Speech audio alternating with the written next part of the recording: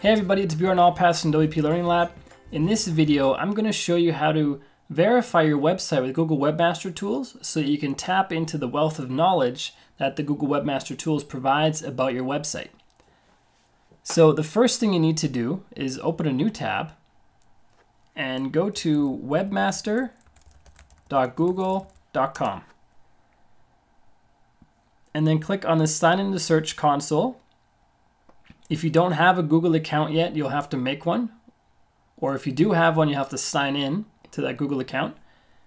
And then to add your website, all you have to do is click on the add property link or button on the top right.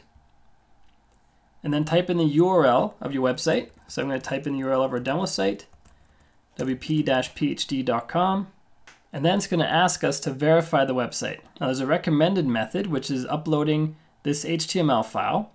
But there's also alternate methods that you can choose, which are adding an HTML tag, changing a setting in the domain name provider, using your Google Analytics account, or using your Google Tag Manager.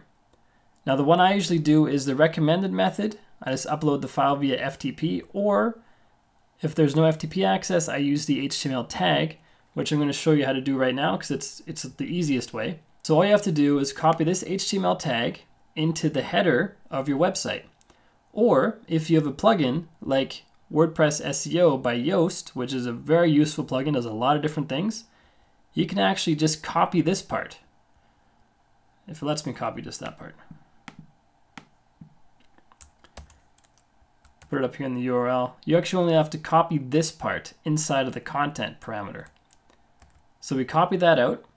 And if we go back to our site, I already have WordPress SEO by Yoast installed. You can find it in the plugin repository, and I have another video actually where I show you how to install that. It's linked to below. So to do the Google verification, what you do is you hover over SEO and you click on General. And this takes us to General Settings inside the WordPress SEO by Yoast plugin. And you click on Webmaster Tools. And then you paste in that piece of code that we just copied and we click on Save Changes. And when this is saved, it will automatically add that tag to the header of your website. So now we can go back here and click on verify. If everything went well, it will say it's been verified and it worked. Congratulations, you've successfully verified ownership of that website. Then we click on continue and here we are in the Webmaster Tools. You're not going to see a whole lot at the moment because you just verified your site. It's going to take a bit of time for Google to go and crawl your site, realize that you've actually verified it and want this information. So it's going to take a little bit, a few days, maybe a week to populate a lot of data here. And the longer you've been using Webmaster Tools, the better the data becomes just because you have a historical to look at. And so I really recommend you do this because it's it's going to help your search engine rankings. You're going to find problems on your site that you didn't even know about. And I have a bunch of other videos that go through the Webmaster Tools and different areas of it that will help you level up your WordPress site.